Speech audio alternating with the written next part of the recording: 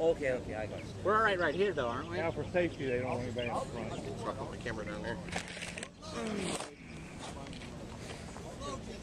No, we won't. Uh, got a boat going Now down. there's people over there. Yeah. Take them out. We can do that. You hit a moving target with that thing? Yeah, you just gotta lead it.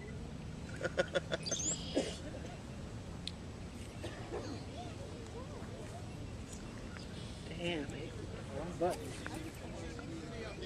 Yeah, they're all right.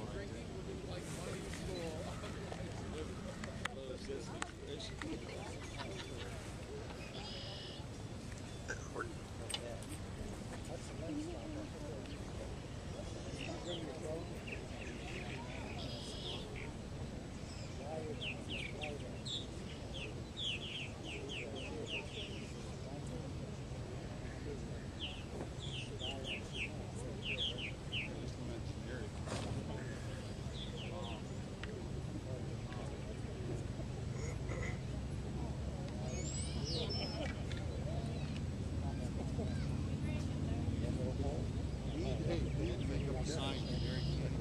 Ninety-nine cents, make it white with black letters. Just write ninety-nine cents.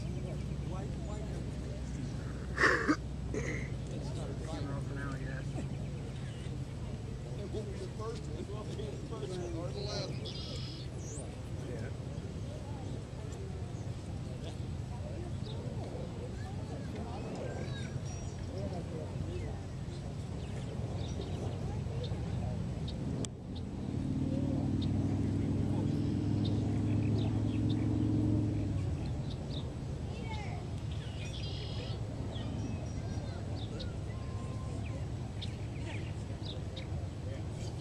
I'm not ready yet, Dan.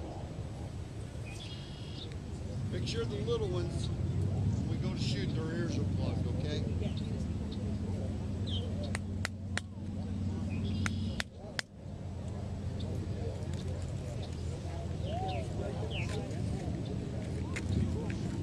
Have any fresh ears, Lou? I'll just give you some, he's got it.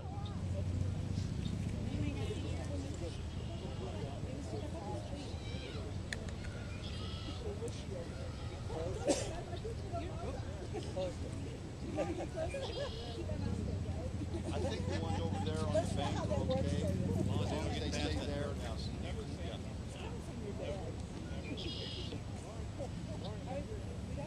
They're okay. They're Yeah. okay. Yeah, they're okay. I'm watching this camera guy down the bank. Yeah. Yeah, As long as they stay- stay by I'll the marked watch him. house, it'll be okay. Yeah. As long as you stay there, you'll be okay. Yeah, don't come any closer. Yeah, we know. Yeah. Hold fire, and then while you're going out to Det tänker han Gustav Gran.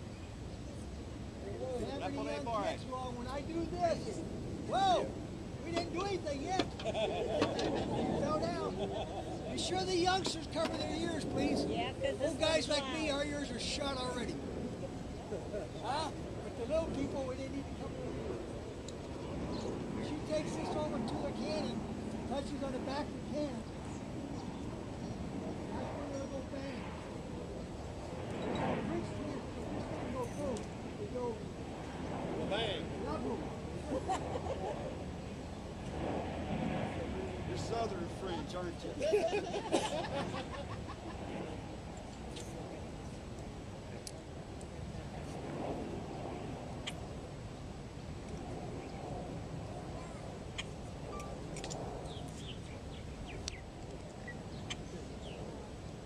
All right. That's the cost. Okay, get ready. Jim covers his ears. Look ears. Atta boy, thank you. On you. Boo.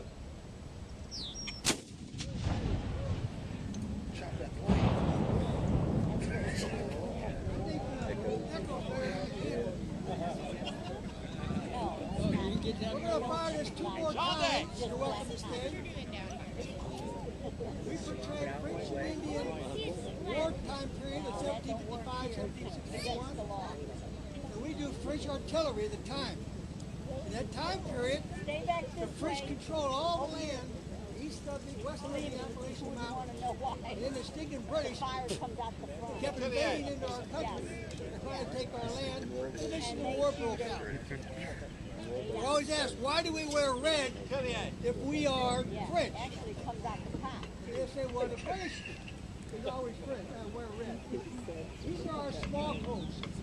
Have another coat on top of this. This is what happens, the guy's coming along to walk right now. He has his small clothes on and his coat. In fact, he could pass as a French artilleryman.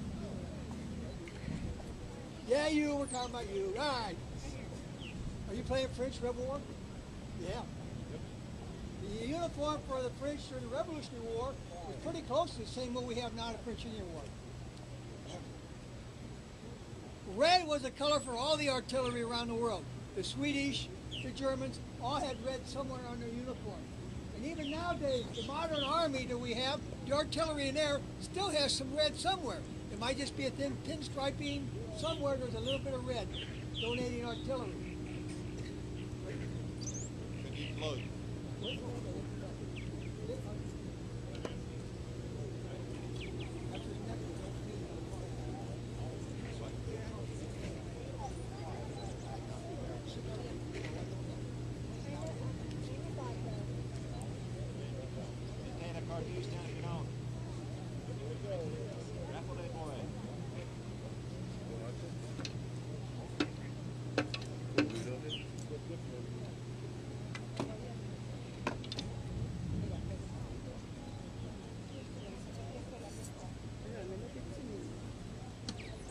They need load.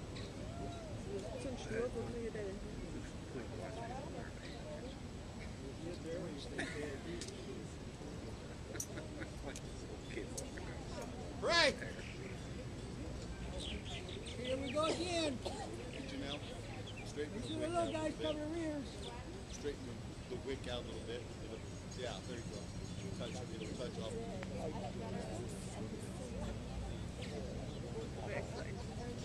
Aja! Move!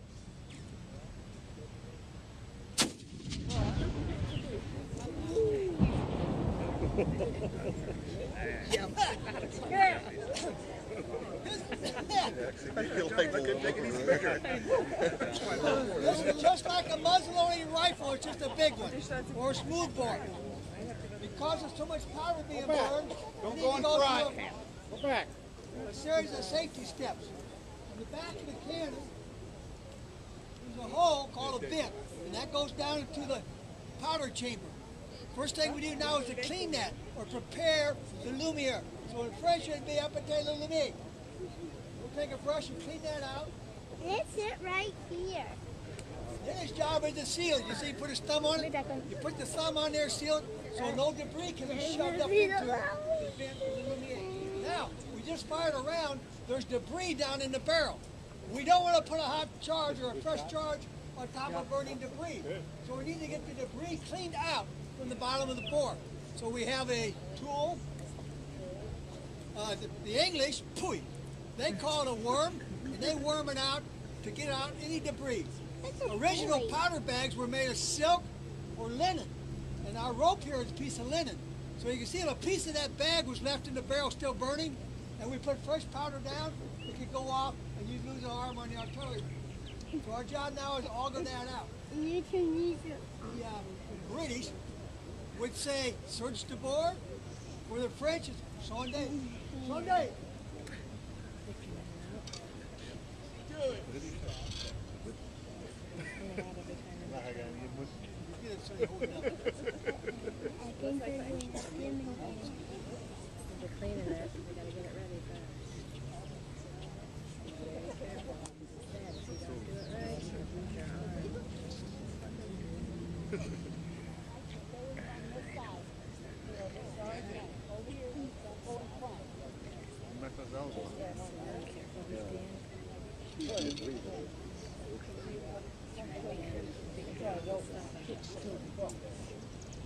While he's working on that, the next tool will be a Why here? Got it. Thank you.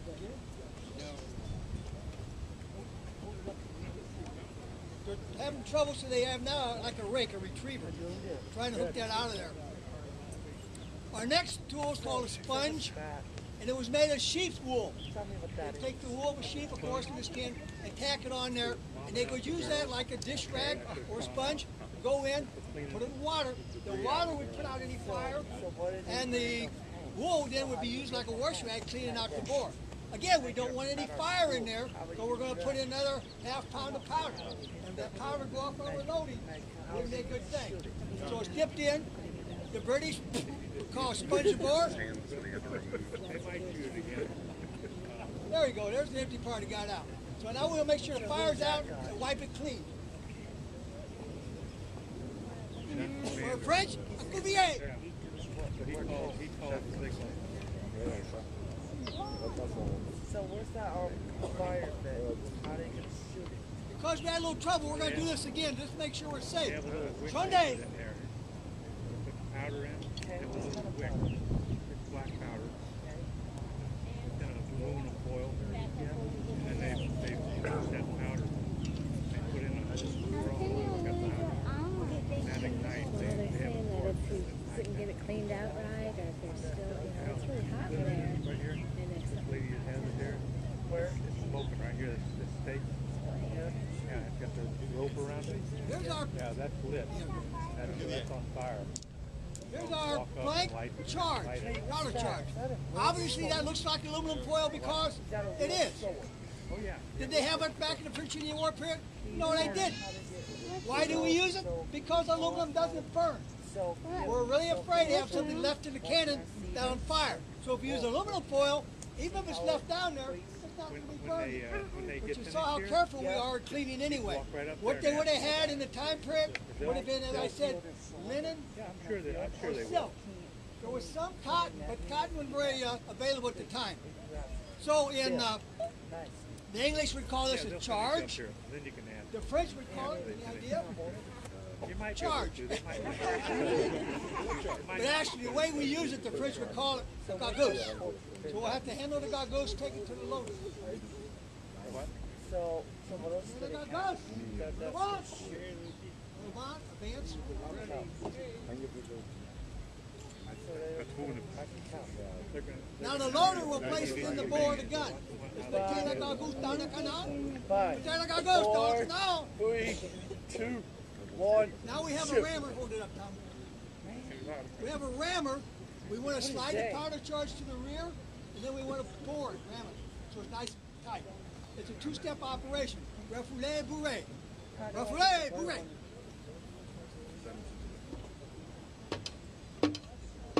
Look, they do it on a piece Now, if you're going to fire a cannonball, this would be the time to put your cannonball in. So we can't do that. They don't allow it here. They don't have a cannonball in there. But we have to be able to set off the charge. So now we need to pierce a hole in that powder charge we just put down.